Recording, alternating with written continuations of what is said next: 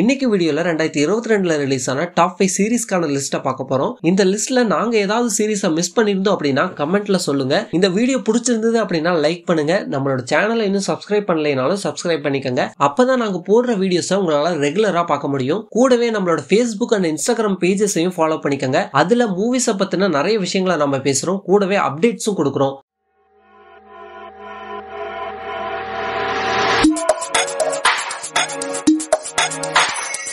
அஞ்சாவது இடத்துல இருக்கிற series Star Trek strange new இந்த சீரிஸோட கிரியேட்டர்ஸ் அலெக்ஸ் கர்ட்ஸ்மேன் அப்புறம் அகிரா குட்ஸ்மேன் சீரிஸோட ஸ்டோரி என்ன அப்படின்னா கேப்டன் பைக்கும் ஸ்போக்கும் யூஎஸ்எஸ் என்டர்பிரைசஸ்ல இருந்து புது கேலக்சிஸை எக்ஸ்ப்ளோர் பண்ண போறாங்க. அங்க அவங்க சந்திக்கிற பிரச்சனைகள் என்ன அதெல்லாம் எப்படி சமாளிக்கிறாங்க அப்படிங்கறதான் இந்த சீரிஸோட ஸ்டோரி இந்த சீரிஸ் நைன்டீன் நைன்டி சிக்ஸ்ல ரிலீஸ் ஆன ஸ்டார் ட்ரெக் ஒரிஜினல் சீரிஸோட ஸ்பின் ஆஃப் ஸ்டார் ட்ரெக்கோட ஃபர்ஸ்ட் சீசன் ரொம்ப பெரிய ஹிட் அதுல இருந்து தான் நிறைய ஸ்பேஸ் பிலிம்ஸ் ரிலீஸ் ஆச்சுன்னே சொல்லலாம். இந்த சீரிஸ் விஷுவல்ல ரொம்ப ஸ்ட்ராங்கா இருக்கு. சிஜிஏ அண்ட் விஎஃப்எக்ஸ் எல்லாமே ரொம்ப சூப்பரா பண்ணிருக்காங்க. ஸ்டோரி அண்ட் ஸ்கிரீன் பிளேவும் சீரிஸ்க்கு பிளஸ்னு சொல்லலாம். ஒரு நல்ல சயின்ஸ் ஃபிக்ஷன் சீரிஸ் பார்க்கணும்னு நினைக்கிறவங்களுக்கு இந்த சீரிஸ் ஒரு நல்ல சாய்ஸா இருக்கும். ஸ்டார் ட்ரெக் பிரான்ச்சைஸ்ல இருந்து ரொம்ப நாள் கழிச்சு வர ஒரு சீரீஸா இது இருக்கு. ஸோ கண்டிப்பா இந்த சீரிஸை மிஸ் பண்ணாம பாருங்க.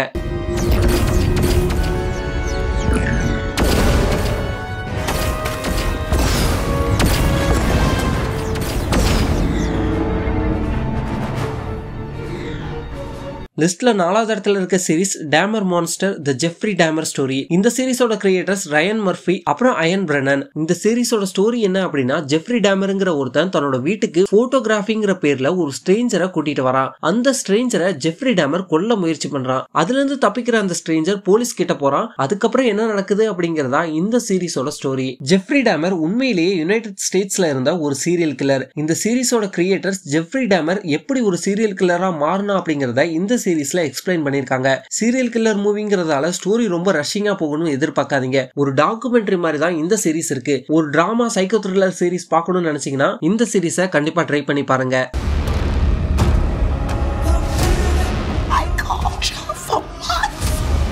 லிஸ்ட்ல மூணாவது இடத்துல இருக்கிற சீரிஸ் சாண்ட்மேன் இந்த சீரிஸோட கிரியேட்டர்ஸ் டேவிட் எஸ் கோயர் அப்புறம் அலன் ஹெயின்பர்க் கனவுலகத்தோட கடவுளா இருக்கிற ட்ரீமை பிரிசனரா ஒரு சார்சரர் வச்சிருக்கிறான். பல வருஷம் கழிச்சு அந்த சார்சரர் கிட்ட இருந்து ட்ரீம் தப்பிக்கிறான். அப்ப அவனோட உலகம் கிட்டத்தட்ட அழிஞ்சு போயிடுச்சு. இதுக்கப்புறம் ட்ரீம் தன்னோட உலகத்தை எப்படி ரீபில் பண்றான்? அதுல அவன் சந்திக்கிற பிரச்சனைகள் என்ன அப்படிங்கறதா இந்த சீரிஸோட ஸ்டோரி சாண்ட்மேன் சீரிஸ் வரதுக்கு முன்னாடியே அதுக்கு ஒரு பெரிய ஹைப் இருந்துச்சு. அதை இந்த சீரிஸ் ஃபுல்ஃபில் பண்ணிருக்குன்னு சொல்லலாம். ஸ்டோரியும் ஒரிஜினல் சாண்ட்மேன்ல இருந்து எடுத்திருக்கிறதால ரொம்பவும் ஸ்ட்ராங்கா இருக்கு. ஏத்த மாதிரியே ஸ்கிரீன் பிளேவும் ரொம்ப இன்ட்ரெஸ்டிங்காவே கொடுத்திருக்காங்க. ஹீரோவா நடிச்சிருக்க ஸ்டாம் ஸ்டெரிஜ் ஜென்னா கோல்மன் கிர்பி ஹோவல்னு இவங்க எல்லாருமே அவங்களோட ரோலை ரொம்ப சூப்பரா போர்ட்ரேட் பண்ணிருக்காங்க கூடவே விஎஃப்எக்ஸ் அண்ட் சிஜியையும் இந்த மூவில ரொம்பவும் பக்காவா ஒர்க் அவுட் ஆகியிருக்கு. ஒரு ஃபேண்டசி டிராமா சீரிஸ் பார்க்கணும்னு நினைக்கிறவங்களுக்கு இந்த சீரிஸ் ரொம்ப பிடிக்கும். ஸோ கண்டிப்பா இந்த சீரிஸை ட்ரை பண்ணி பாருங்க. Your eyes will tell me everything, every thought. ரெண்டாவது இடத்துல இருக்க சீரிஸ் மூன் நைட் இந்த சீரிஸோட கதை என்ன அப்படின்னா ஸ்டீவன் கிராண்ட் மியூசியம்ல வேலை பார்க்குற ஒரு காமன் மேன் அவனை ஒரு குரூப் மார்க் ஸ்பெக்டர்ங்கிற பேரை சொல்லி சம்பந்தமே இல்லாம துரத்த ஆரம்பிக்குது. யார் இந்த மார்க் ஸ்பெக்டர் அவனுக்கும் இந்த குரூப்புக்கும் நடுவில் இருக்கிற பிரச்சனை என்ன? இதுல எப்படி நம்ம ஹீரோ ஸ்டீவன் கிராண்ட் மாட்டிக்கிட்டாரு அப்படிங்கறதா இந்த சீரிஸோட ஸ்டோரி இந்த வருஷமே மார்வலுக்கு ரொம்ப மோசமான வருஷம். ரிலீஸ் ஆன படம் எதுவுமே எதிர்பார்த்த அளவுக்கு ஓடல. அதுலயே நிறைய மார்வல் ஃபேன்ஸ் கான்ல இருந்தாங்க. கடைசியா ஷீஹல்க்கு ரிலீஸ் ஆனப்போ மொத்த மார்வல் ஃபேன்ஸுமே மார்வலை வறுத்தெடுக்க ஆரம்பிச்சாங்க. இந்த வருஷத்திலேயே மார்வல் கிட்ட இருந்து ரிலீஸ் ஆன ஒரு நல்ல சீரீஸ்னா அது மூன் நைட் தான். ஆஸ்கர் ஐசக் என்னோட ஃபேவரட்டான ஆக்டர் கடைசியா மார்வல்ல ஹீரோவா போர்ட்ரேட் ஆகி இருந்திருக்காரு. அவரோட ஆக்டிங் இந்த சீரீஸ்ல டாப் நாச்சா இருந்தது. வில்லனா நடிச்சிருக்க ஈத்தன் ஹாக்குமே செமையா ஆக்ட் பண்ணிருக்காரு ஈத்தன் ஹாக்குக்கு அந்த ஆன்டகனிஸ்ட் கேரக்டர் ரொம்ப பக்காவா பொருந்தி போயிருந்தது. மத்தபடி வழக்கமா பாக்குற மார்வலோட மேஜிக் டச்சஸ் எல்லாமே இந்த சீரிஸ் முழுக்க ஒர்க் அவுட் ஆகியிருந்தது மூன் நைட்டோட செகண்ட் சீசனுக்கு எந்த ஒரு அப்டேட்டுமே மார்வல் கொடுக்கல. ஒருவேளை ரெண்டாவது சீசன் வந்ததுன்னா கண்டிப்பா நல்லா இருக்கும். நீங்க என்ன நினைக்கிறீங்க அப்படிங்கறத கமெண்ட்ல சொல்லுங்க. குழம்பி கிடக்கு.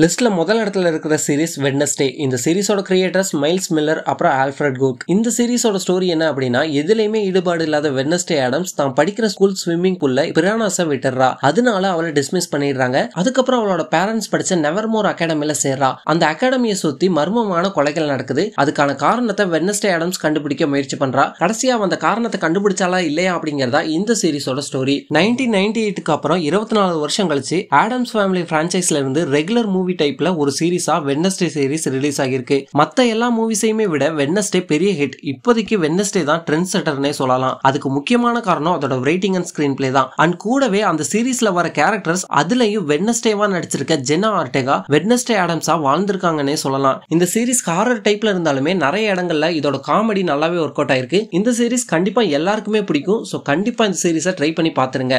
I won't stop until I find the truth.